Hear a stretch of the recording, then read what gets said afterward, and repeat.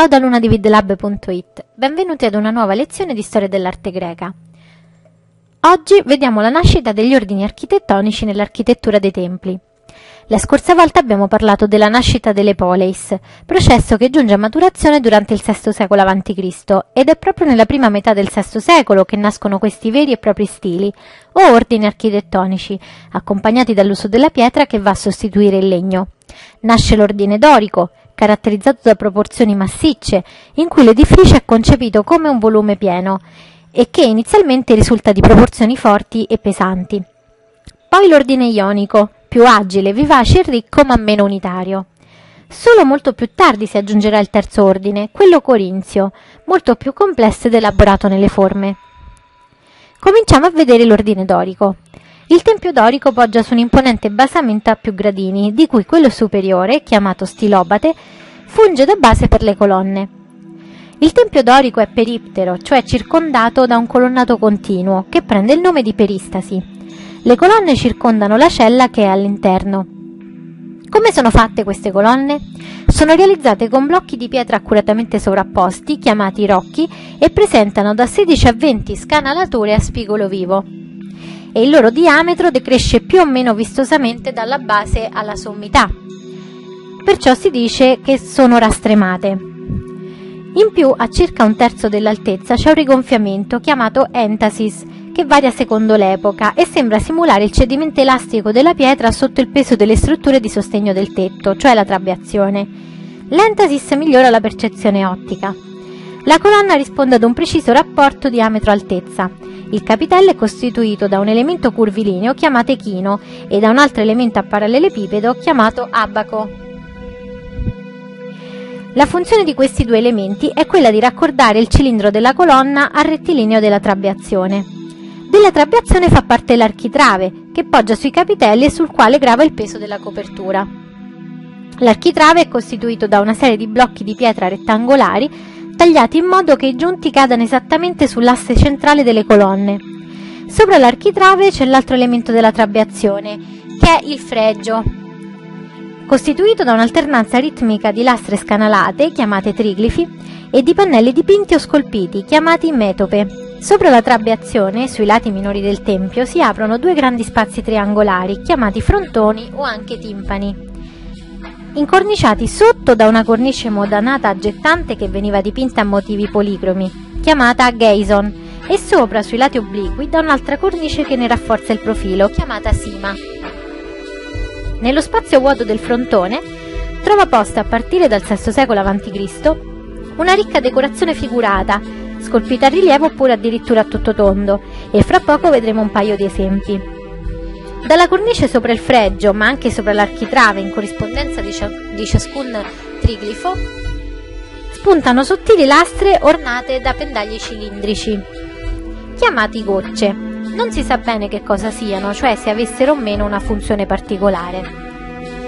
Per quel che riguarda l'interno, il tempio prevedeva una cella di forma rettangolare, con le pareti dei lati lunghi che si protendevano a formare due ante,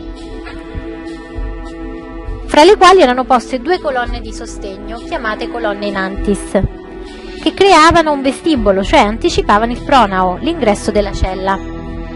Dalla parte opposta, un secondo prolungamento chiamato opistodomo aveva una funzione decorativa e lo scopo di rendere simmetrica la struttura. All'interno la cella normalmente era divisa in tre navate da un doppio colonnato. In fondo alla navata centrale era posta la statua di culto, quindi dall'ingresso attraverso questo colonnato si creava un asse visivo che conduceva alla statua. In altri casi invece c'era un unico colonnato centrale che divideva la cella in due e tre colonne in antis. Però il colonnato centrale imponeva di decentrare la statua di culto, per cui questa soluzione fu presto abbandonata. Tra la cella e la peristasi vi è tutto intorno un deambulatorio, cioè uno spazio accessibile. Il più antico esempio di ordine dorico è il tempio di Era d'Olimpia, nel Peloponneso, dove ogni quattro anni si celebravano i più importanti agoni sacri del mondo greco. Il tempio sorse all'interno del santuario dedicato a Zeus, importantissimo. Era, infatti, in quanto consorte di Zeus, divenne la comproprietaria del santuario e fu molto venerata nel Peloponneso. Il tempio poggia su un basamento di soli due gradini, La pianta perittera ha un impianto di 6x16 colonne e la lunghezza totale di circa 40 metri. Le colonne doriche presentano una lieve entasis a circa un terzo dell'altezza. Hanno un aspetto poroso e non compatto a causa della tipologia di pietra calcarea di cui sono fatte. Originariamente erano coperte da un sottile strato di stucco dipinto a colori vivaci.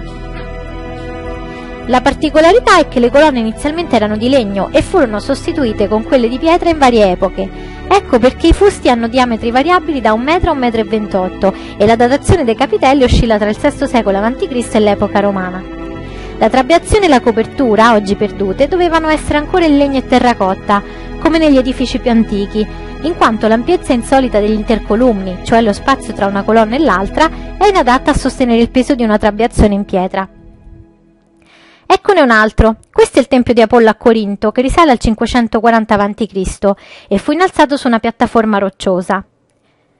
Rappresenta l'espressione più matura dell'ordine dorico del VI secolo e le sperimentazioni tecniche elaborate per far sì che ci sia una percezione ottica più armonica, evitando gli effetti deformanti nella visione dell'edificio, per esempio causati dalla luce o dalla prospettiva. Quindi, oltre all'uso dell'entasis, si acuiscono le curvature dello stilobate e dell'architrave, si riduce la distanza tra le colonne, di cui si ingrandiscono quelle angolari, e infine si posizionano queste colonne con una lieve inclinazione verso il centro dell'edificio, ottenendo una riduzione delle fughe prospettiche e conferendo più leggerezza al tutto. Due parole sul di Apollo. Era figlio di Zeus e Leto, o Latona come la chiamavano i romani, ed era praticamente il dio per eccellenza, perché possedeva moltissimi poteri. Era un dio che puniva, infatti veniva spesso rappresentato con archi e frecce, e tutte le morti improvvise erano attribuite alle sue frecce. Nello stesso tempo, però, era un dio che poteva aiutare a allontanare il male, se opportunamente implorato e propiziato, Proteggeva anche le greggi e il bestiame in generale ed anche la fondazione delle città e le loro costituzioni e istituzioni civili. Era un dio profetico ed esercitava questo potere nelle varie sedi dei suoi oracoli, primo fra tutti quello di Delfi. È conosciuto senz'altro come dio del sole, anche se questa identificazione nasce tardi. Infatti, in Omero, Apollo ed Elio, cioè il sole, sono perfettamente distinti. Infine è il dio del canto e della musica ed è per questo in strettissima relazione con le muse, cioè è guida e maestro del loro coro. Una tradizione tarda attribuiva ad Apollo l'invenzione della lira e del flauto, mentre la versione corrente del mito raccontava che egli aveva avuto la lira da Hermes. Ora vediamo la decorazione del frontone, cosa che mancava al tempio di Era. Questo era un problema non indifferente, in quanto bisognava cercare di inserire in modo organico, calibrato, una scena figurata all'interno di uno spazio triangolare che imponeva dei limiti spaziali particolari. Il più antico esempio che possediamo di tale decorazione è il frontone del tempio di Artemide a Corfù, che era l'antica colonia greca di Corinto. Artemide è la sorella gemella di Apollo, chiamata Diana dai Romani. Come gemella di Apollo ne costituisce il corrispettivo femminile. È anche lei armata di arco e frecce con cui uccide uomini e animali o diffonde morbi. Ed allo stesso tempo, proprio come Apollo, anche Artemide può guarire e alleviare le sofferenze dei mortali. Era protettrice dei giovani e dei piccoli animali e perciò divenne la dea delle gregge e della caccia. Come Apollo, Artemide non ha un compagno ed è la dea vergine per eccellenza, cioè rappresenta la fanciulla non toccata dall'amore. Ma veniamo al frontone di questo tempio raffigura una gigantesca medusa nello schema arcaico della cosiddetta corsa in ginocchio, con testa e busto di prospetto e gambe piegate di profilo. Medusa è una delle tre gorgoni o gorgoni, che sono temibili figure femminili, con la testa ricoperta da serpenti invece che da capelli, ali d'oro, mani di bronzo e giganteschi denti. Medusa era l'unica delle tre sorelle ad essere mortale. Secondo la tradizione all'inizio era una bella ragazza, ma i suoi capelli furono trasformati in serpenti da Atena, in punizione per i suoi amori con Poseidone avvenuti in uno dei templi dedicati alla stessa Atena. La testa di Medusa divenne così spaventosa da far trasformare in pietra chiunque la vedesse. Infatti l'eroe Perseo, per ucciderla, dovette evitare di guardarla direttamente in faccia, servendosi di uno specchio donatogli da Atena, e così le mozzò la testa. Atena poi collocò il capo mozzato di Medusa al centro del proprio scudo, dove mantenne la sua caratteristica di pietrificare chiunque lo vedesse. Poi, fra l'altro, dal sangue di Medusa nacquero il famoso cavallo alato Pegaso, che era raffigurato qui sul frontone, ma è andato quasi del tutto perduto, e Crisaure, raffigurato anche lui a fianco di Medusa, entrambi figli di Poseidone. La figura della Medusa è stata posta sul frontone di questo tempio perché aveva valore apotropaico, cioè la sua immagine sugli edifici sacri, ben visibile da lontano, aveva la facoltà di allontanare le negatività, proprio perché era il simbolo della morte e del male vinti dall'eroe.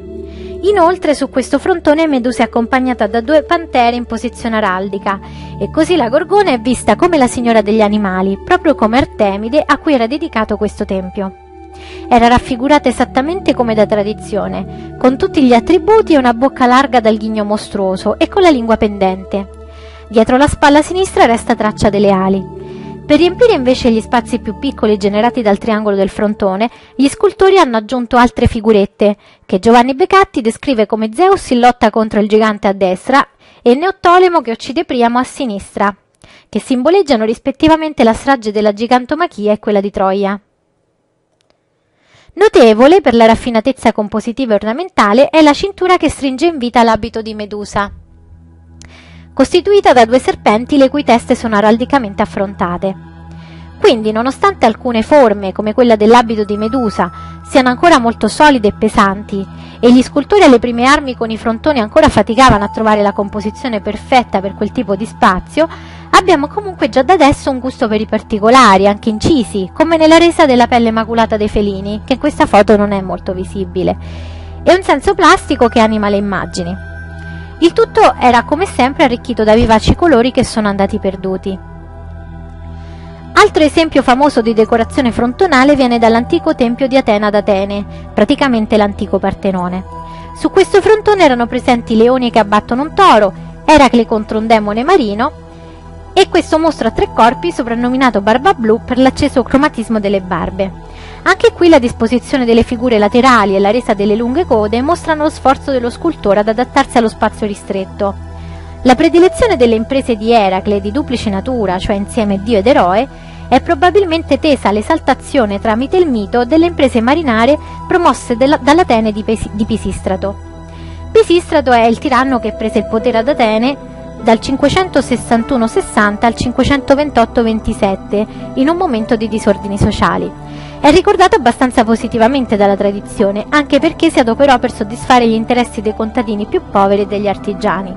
Aristotele lo definisce fortemente democratico.